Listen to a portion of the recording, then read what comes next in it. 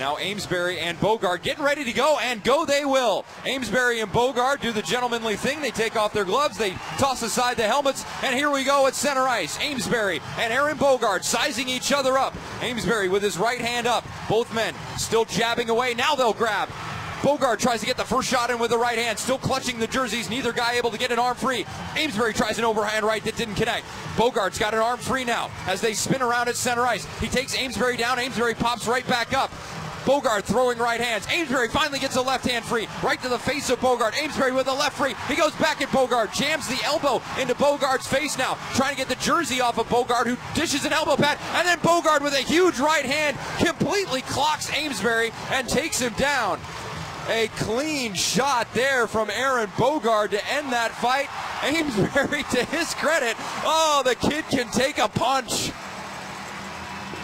Goodness gracious me, was that a haymaker from Aaron Boogaard? Right across the chops of Amesbury, who went down but then popped right back up and motioned to the BOK Center crowd to cheer him on.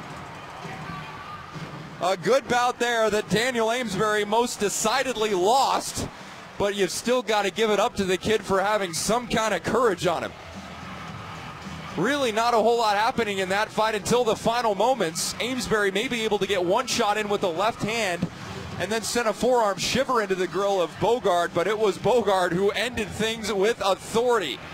As we're watching the replay here on the BOK Center big board, they danced in front of the penalty boxes.